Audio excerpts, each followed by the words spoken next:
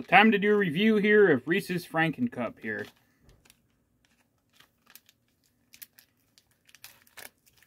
I've had this before. Not too sure if I ever did a video of this, but basically it's just regular Reese's peanut butter cups. But it has a green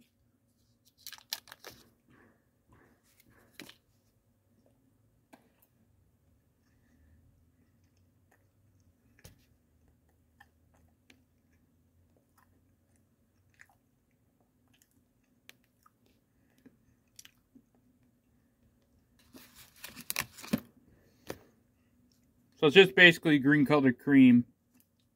That's what they title it as.